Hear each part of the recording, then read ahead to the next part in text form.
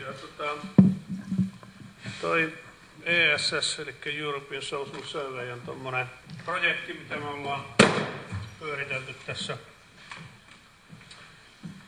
tässä jo tota, alun toistakymmentä vuotta, eli, eli tota, 2002 tehtiin ensimmäinen kenttätyö ja, ja tota, siitä lähtien se on toistettu joka toinen vuosi. Ja meillä on periaatteena ollut alusta alkaen se, että data on kaikille täysin avointa.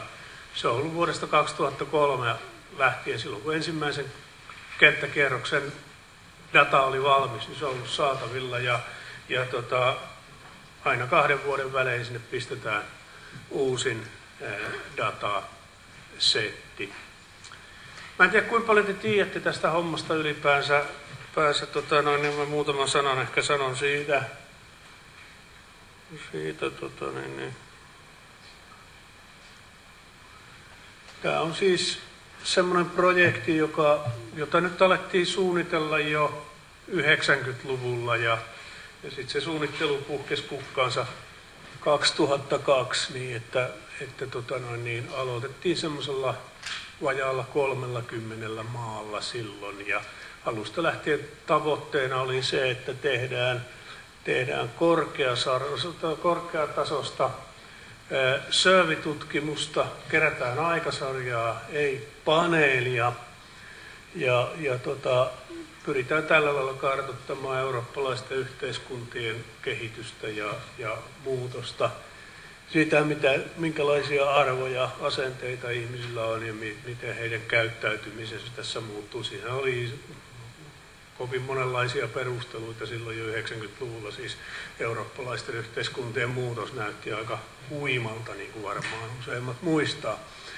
Ja tota, tämä on se tavallaan se substantiivinen puoli. Tämän lisäksi me haluttiin alusta lähtien kehittää tämmöisen vertailevan yhteiskuntatutkimuksen menetelmällisiä standardeja, mittareita ja, ja tota niin, niin, ää, kaikkia muitakin menetelmällisiä piirteitä. Ja tämä itse asiassa tämä menetelmällinen kehitystyö on hirveän tärkeä osa, osa tätä koko essiä. Sisällöllisesti meillä aiheet vaihtelee aika paljon. Meillä on niin sanottu perusmoduuli, core module, ydinmoduuli, joka, joka on vuodesta toiseen sama, eli se tuottaa tämän jatkuvan aikasarjan. Nyt jos jollain on metsästyskiikarit mukana, niin voi tuolta varmaan lukeekin, että mitä noin meidän teemat siellä on. Siis no, tuolla ylhäällä on noin noi ydinmoduuliasiat ja, ja, ja tota, siellä on tämmöisiä listattu kuin media social trust, politics, subjective well-being, gender, household, sociodemographics, human values. Ja sitten sen alapuolella lähtee erilaisia niin sanottuja vaihtuvia moduuleita, joita me ollaan kierrätetty mukana kerran, kaksi, tulevaisuudessa mahdollisesti kolmannen ja neljännenkin kerran. Siellä on tämmöisiä teemoja kuin immigration, citizen involvement, health and care, economic morality, family work and well-being, time of life, personal well-being, welfare attitudes, ageism, justice, democracy, health inequalities. Ja, ja tota noin niin, nämä datat sitten tota, kerätään siis tiukasti vertailevalla tavalla maita. Meillä on tällä, tällä hetkellä, tai siis semmoinen reilu 35 maata Euroopasta ja lähiympäristöstä, niin on tähän, tähän tota, osallistunut. Ja aika moni maa on ollut ihan alusta loppuun tai, tai tähän asti ää, tota, no niin, mukana. Ja, ja tota, kaikki tehdään metodologisesti hirveän korkeatasoisilla standardeilla, niin kuin mä jo sanoin, että otannat ja kenttätyömenetelmät, käännökset, kaikki tämmöiset on rakennettu tiukasti vertailukelpoiseksi. Ja kaikki data on vapaasti saatavilla, ei muuta kuin menee nettiin ja kaivaa sen esille. Eli tota, mennäänpä tuosta käymään tuolla ESSn nettisivuilla. Täällä on ensinnäkin, niin täällä on kaikki dokumentaatio. Täällä kerrotaan, kerrotaan tota noin niin, Essin historiasta ja, ja kaikista taustatekijöistä aina aina tota noin, niin, tuoreempia uutisia. Nyt on tämmöinen konferenssi tulossa tänä vuonna kolmas sarjassaan nyt. Ja, ja sitten siellä on menetelmälliset yksityiskohdat. Kaikki pyritään raportoimaan. Ja sitten on toi Data and Documentation, niin täältä on saatavissa Data and Documentation by Year, by Country, by Team. Eli siis saa niin kuin, jos haluaa yhtä maata koskevan aikasarjan, niin silloin se otetaan tuosta by countrysta, jos haluaa, haluaa tota noin niin, kaikkia maita koskevan poikkileikkauksen, niin se on sitten tuosta by yearista ja, ja tota, sit jos joku teema kiinnostaa, niin sitä lähdetään hakemaan tuosta. Ja, ja tota, no, niin, tämä nyt niinku näyttää tommoselta, että et, tota, tässä ei tarvi muuta kuin kirjautua sisään, tämän saa itselleen. Et siellä on tota, yhdistetty failikierrokselta seitsemän tässä, sitten kierrokselta kuusi ja viisi aina tonne kierrokselle yksi vuoteen 2002 asti. Sitten sinne on rakennettu vähän, vähän helpottavia työkaluja myöskin. Meillä on tota noin niin, tommonen Data Wizard täällä, mistä nyt voi tuosta lähteä sitten keräilemään semmoista sopivaa datasarjaa itselle, että jos nyt halutaan tuosta vaikka Pelkiä ja, ja Tanska ja Suomi ja, ja, ja vaikka tuolta Unkari vielä mukaan, jos olisi nyt joku, joku merkillinen peruste lähteä just tämmöisiä maita analysoimaan. Sitten voidaan valita täältä, että mitä muuttujia otetaan. Jos ollaan kiinnostuneita vaikkapa, vaikkapa netin käytöstä näissä maissa, niin valitaan tuosta muuttuja ja, ja tota, mitä muuta sitten halutaan katsoa vaikka, että onko sillä yhteyttä vaikkapa, vaikkapa tota noin niin, sukupuoleen, niin, niin tota, semmoinen voidaan valita tuolta tai, tai tota noin niin, vaikuttaako ikää niin kuin ehkä voisi olettaa, niin se voi napsauttaa tuolta. Ja sitten vaan tosta, tosta downloadaamaan. Mä en ole nyt kirjautunut sisälle, niin se ei näytä aktiivisena, tota, mutta se voi tuolta sitten ottaa, ottaa tota eri, eri ohjelmistopakettien edellyttämässä tiedoston muodossa. No tota, tämän lisäksi meillä on sitten tota, kerätty tänne tämmöinen multilevel data systeemi kanssa.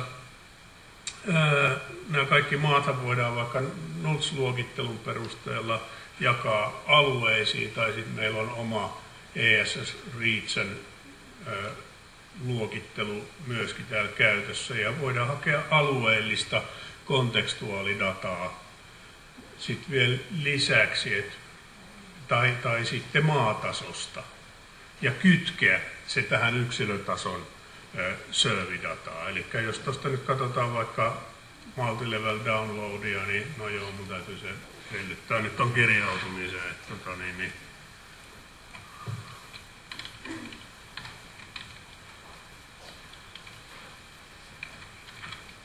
Et sitä voi demonstroida, mutta tota, nyt mä oon siellä sisällä, niin tota, tästä nyt mä voin lähteä sitten vaikka yhdistelemään tuohon kierroksen 6 dataan, niin, niin täältä nyt sitten, sitten tota noin niin, joko näitä maatasoisia muuttujia tai, tai tota ESS-alueisiin tai NUTS-luokkiin perustuvia, perustuvia muuttujia. Et otetaan sieltä nyt vaikka, vaikka tota noin niin, niin Liettua ja Kosovo ja, ja, ja tota noin niin Kypros vaikka tällä kertaa ja tota, mennään eteenpäin, niin täältä löytyy kaikenlaista, ollaan nyt kiinnostuneita vaikka näistä maatasoisista muuttujista, niin me voidaan sinne täältä, täältä lisätä sitten päästöä koskevia asioita, alue, ikä ja, ja tota noin niin,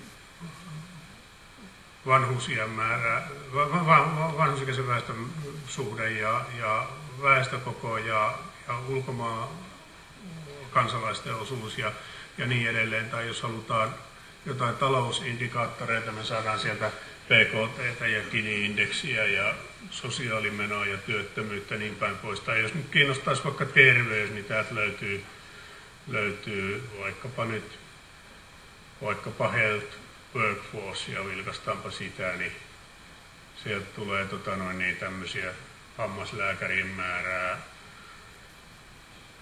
sairaanhoitajien kätilöiden määrää, farmaseutteja ja niin edelleen. Et, tota, tätä on aika paljon ja siis jokaisen tämmöisen, tämmöisen tota noin, niin laatikon takana on tietysti sit, sit monenlaista. Näitä tulee, niin kuin tässä on mainittukin, tulee joko, joko YKlta tai Eurostatilta, mutta siellä on nyt syntyvyyslukuja lukuja noin pitkältä ajalta ja tämmöistä. Ja nämä nyt saa tästä siis sit, kun menee, menee eteenpäin, niin linkattua tota, niin, niin siihen yksilö, yksilötason dataan.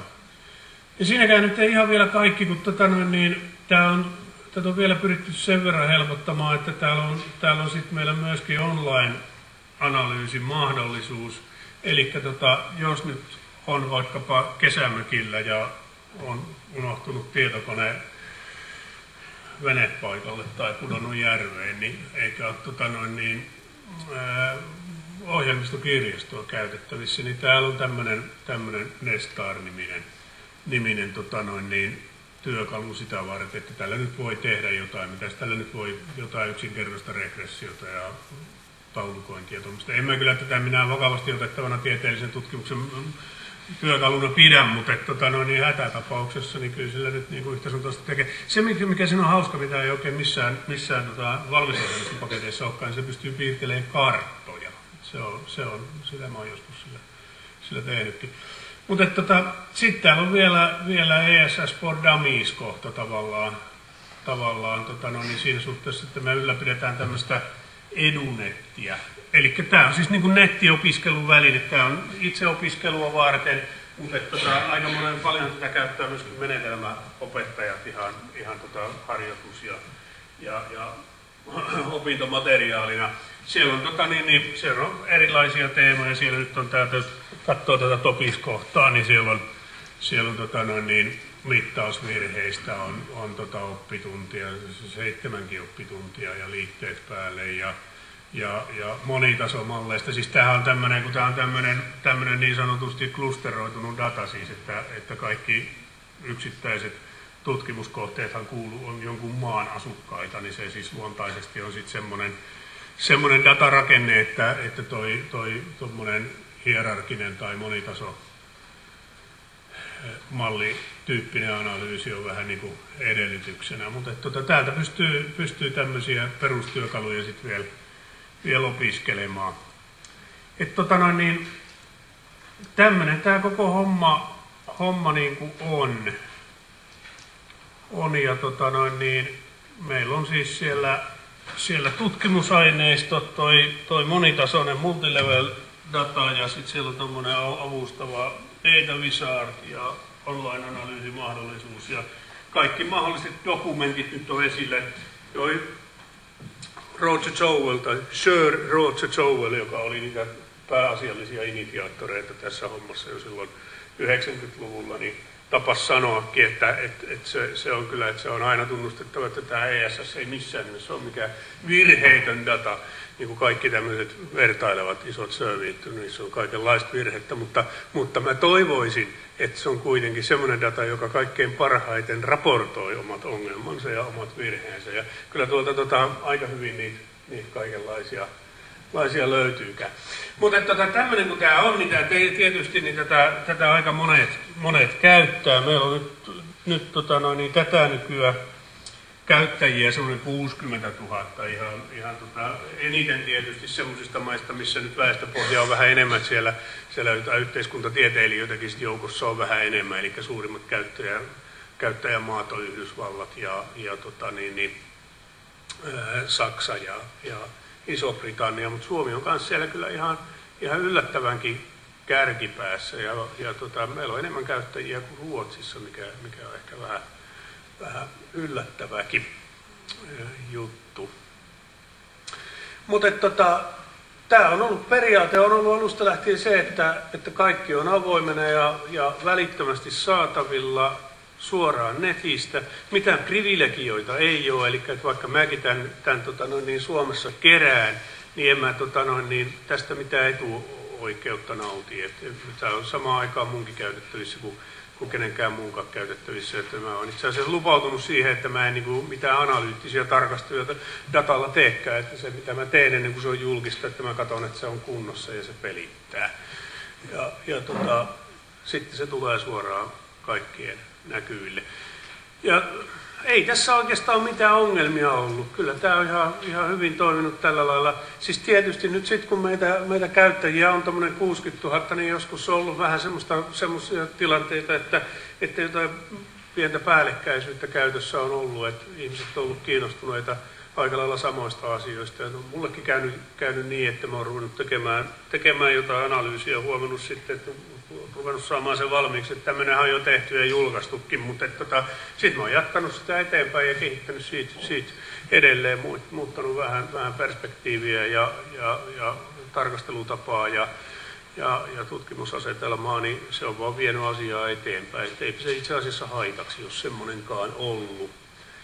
Ja, ja tota, toinen asia, sit, tai asia, mikä on ollut selvästi ongelma, niin on ollut sitten, sitten tota, tämä henkilötietopuoli. Että meillä on tietoja tuommoisesta 320 000 Euroopan maan asukkaasta, ja meillä on semmoisiakin tietoja, että, että tota, mikä on etninen tausta, mikä on uskonto, mikä on, mikä on poliittinen kanta, käyttäytyminen niin edelleen niin tota, täytyy tietysti olla sitten, sitten anonyymiä dataa. Ja, ja tota, sitten siinä käy niin, että, että maissa, missä väestöpohja on riittävä, niin näet, kun ajaa ristiin tämmöisiä yksilöllisiä ominaisuuksia, vaikka etnistä alkuperää ja ammattia ja asuinpaikkaa, niin, niin ei se tuota vielä, vielä tunnistettavuutta, mutta että jos Suomessa hakee vaikkapa pienellä paikkakunnalla asuvaa etniseltä taustaltaan vaikkapa, vaikkapa afrikkalaista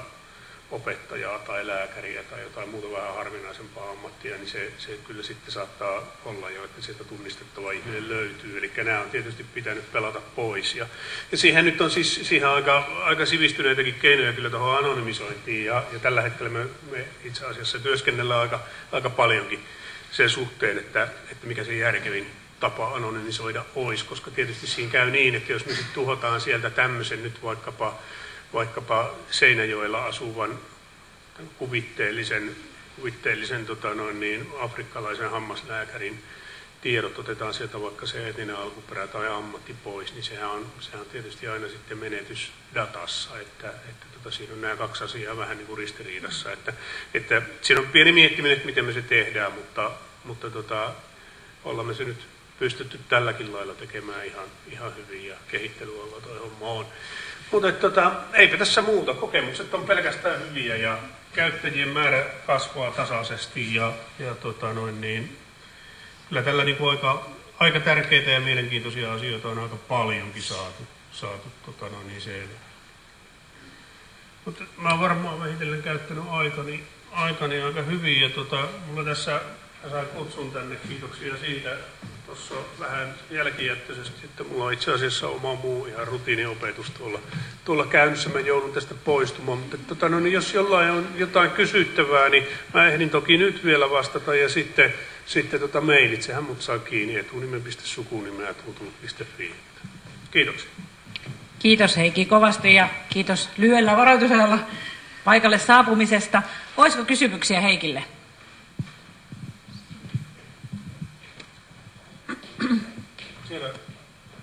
Joo. Hei Riitta Suhonen Hoitotieteen laitokselta. Kiitos esityksestä. Tämä oli todella hieno, että te olette kerännyt tämmöisen aineiston. Nyt tutkijana tietysti sitten kiinnostaa se, että kun sanoit, että siellä tekee useat ihmiset erilaisia analyysejä, niin onko teillä joku tämmöinen julkaisu, eh, suunnitelma tai miten te takaatte sitten just sen, että jos näin moni tutkija esimerkiksi tuolla, ehkä nämä kaikki eivät ole tutkijoita, mutta miten te takaatte sen, että niitä päällekkäisiä ei ole prosessissa, koska siellä saattaa olla mielenkiinnon kohde juuri siinä samoissa asioissa? Meillä ei ole siihen mitään systeemiä, ei minkäänlaista, eikä näitä, näitä tota, muuttujia ja datan osia ei voi millään lailla varata eikä, eikä korvamerkitä itselleen. Se, on, se on itse asiassa, niin se menee vähän sillä lailla, että, että tota, kuka ensimmäisenä sitten ei mitään, mitään systematiikkaa ei ole. Mutta tota, mä, mä tuossa nyt näyttänyt, meillähän on, tota, me pyritään keräämään semmoista tietokantaa, mikä, mikä tota, kaikki valmiit julkaisut osoittaa suoraan. Ja sitten siihen, siihen on osittain saatu jo sekin ominaisuus, että se kertoo nimenomaan, että miten dataa on käsitelty. Et, et, tota noin, niin se palvelee nyt tietysti siinä, kun halutaan katsoa aikaisempia tutkimuksia, mutta et kyllä sitä voi käyttää siihenkin, että et varmistaa, ettei tämmöistä nyt ole joku mennyt jo tekemään. Mutta et sitä, että joku vaikka Yhdysvalloissa tekee ihan samanlaista analyysiä tällä hetkellä, niin siis, siis sitä mä en voi tietää. Vielä kysymyksiä?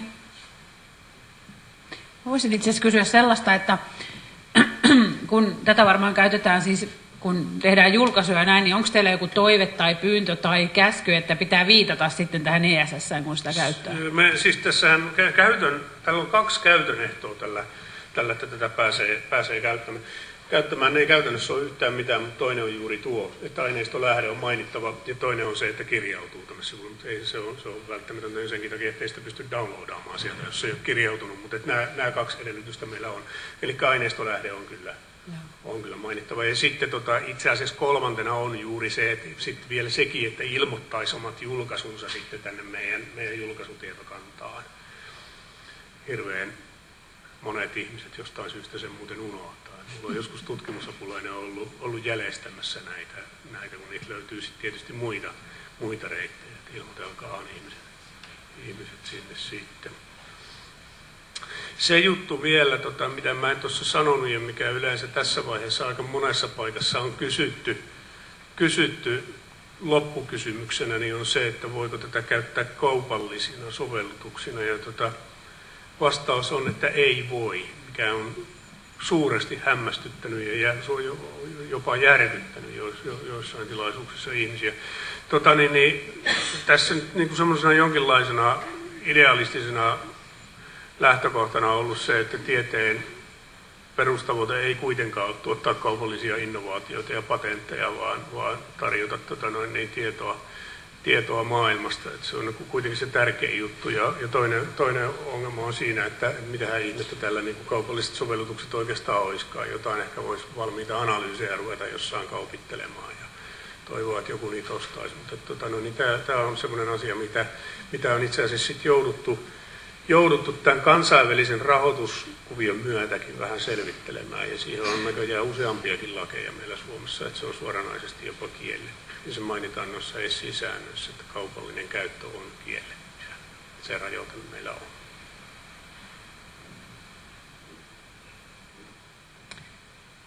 Kiitos. Jos ei enempää kysymyksiä, niin kiitämme Heikkiä ja jatketaan sitten eteenpäin ohjelmassa.